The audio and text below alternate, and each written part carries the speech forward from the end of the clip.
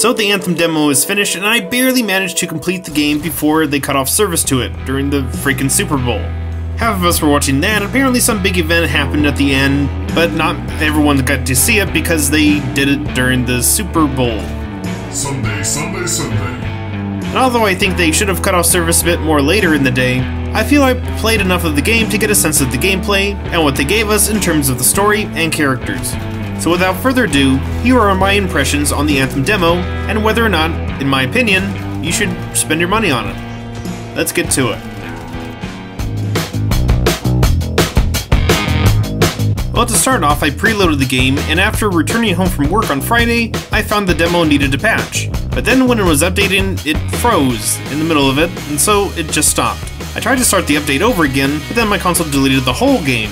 So I needed to reload everything. It was not a good omen to start things out with, but I kept myself entertained as I always do with Rocket League. Yeah, sweet Rocket League. No, no, no, no, no, no, no, no. Yeah. Alright, so the game is beautiful. What can I say that hasn't already been said 10 gajillion times already? Obviously, most of the design crew from BioWare was pulled to work on Anthem. Well, Mass Effect had a late start in production, and the design investment amounted to a free trip to the McDonald's dollar menu. There's going to be a few Mass Effect comparisons here just because it's a BioWare game. Oh, and a lot of Destiny ones as well, because it's a Destiny clone, basically. Alright, well that's not totally fair, but you get my point. You start off in Fort Tarsis. Fort Tarsis is the center hub for the game. Oh, and the city of Tarsus in real life is located in modern day Turkey, and has been an important trade hub and center for different cultures for millennia. So the last city, I mean Fort Tarsis, is designed to look like a medieval castle, with all the NPCs wearing medieval-ish and space fantasy combo designs. And I noticed at night uh, there's a big moon in the sky or something that's really close to the city. I don't know, I guess they could call it the Traveler or something, but that's just me. Walking through the hub, it's strangely quiet. There are lots of people there, don't get me wrong, but their voices can't be heard at all, or very faintly. So unless Fort Tarsis is populated by a large conclave of mimes, I figured EA couldn't add the voices in for fear the service may crash, or something else. Oh, and on that, I didn't experience any crashing as people were doing so last week, and most things ran smoothly, so I'll give that to them. Good job.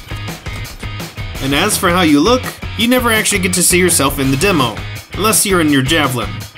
Your Javelin can be customized, and most transactions cost coins. You can earn small amounts of coins by doing missions, and I would assume you could buy some when the game comes out. I tried to make my Javelin look like the Terminator of all Javelins, because hell why not?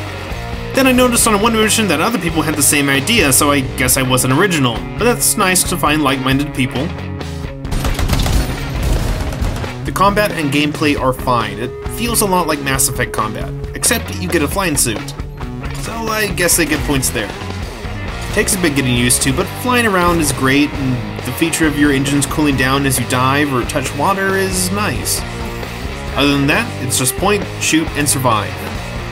As for doing the main missions of the demo, there was never an option to do them alone, but enemies did swarm you a lot, and you needed three others for the crowd control.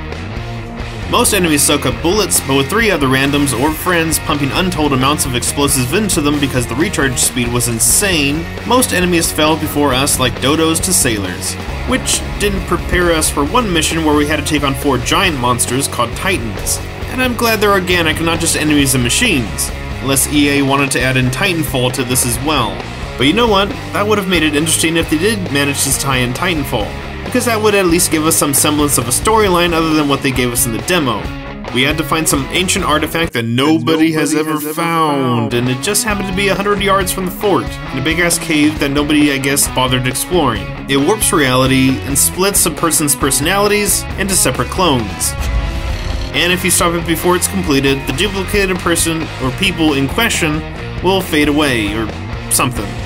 That is never made clear. What the thing is, is never really made clear either. Why we have to go on all these random missions for the most part is not clear. I guess we don't want the bad guys to get it because they'll just duplicate and melt away eventually? I don't know. The machine eventually finishes and the personality clones stay duplicated. Right where you think things might start coming together, the demo ends. So if you want my opinion on the story, I have no idea what's going on. Online, it says that these mutating machines are not stopping and you have enemies that will constantly mutate. Oh, and it's a post apocalyptic Earth planet thing. That's about all they give us. So we might be living in someone's body for all we know, and we're just taking on different viruses or bacteria. I'll be honest, I'm always a little wary when there's little or no story mentioned at all, and a heavy focus on multiplayer, which usually means shorter narratives in most games. Bioware is used to telling big stories though, so I guess we'll just have to wait and see. I was going to let the demo intrigue me and pull me in, making me want to complete the story that I started. But the story didn't do that. It was just random.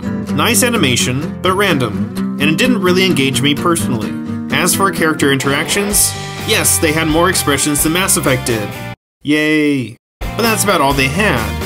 With Mass Effect characters, while looking like they got hit with the Galactic Ugly Stick, many of them had at least deep, developed personalities. It was awful to sit through with some of the characters in Anthem.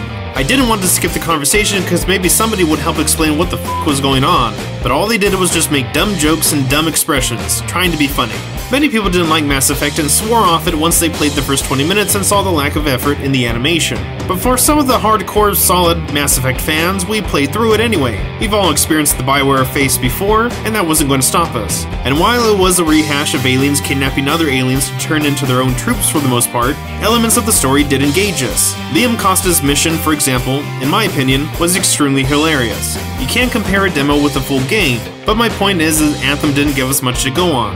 Yes, most players will like to run around the planet, but there isn't even a PvP in this. At least not yet. Destiny, World of Warcraft, and other massive games have had it because, well, players like to use their newfound gear to destroy noobs. So it's a Destiny-like game with a Destiny-like grind, but with no player competition. So without PvP challenges, players will get gear just to get gear, and the story so far gives you no context. Titanfall 2's demo right in the very beginning gives you context. Destiny 2's demo gave you context. Anthem just throws you in. So what do I think of this game? It's alright. Again, not good enough to pre-order. No pre-orders. But the combat holds up, and it looks great. And for some people, that's good enough. And if you like all that, then go ahead and try it out when it comes out. For players who will like more competition and with PvP, you might want to wait until they add it, that's if they do.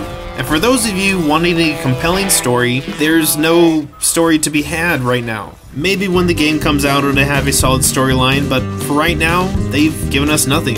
For me, personally, it doesn't seem like something I'll be picking up immediately or at all. I'm busy with school, and this game is not a must-play for me.